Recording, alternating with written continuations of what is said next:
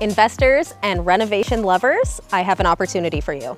We are located at 831 Aberdeen Street, directly across from Queen Square and centrally located in Fredericton's downtown.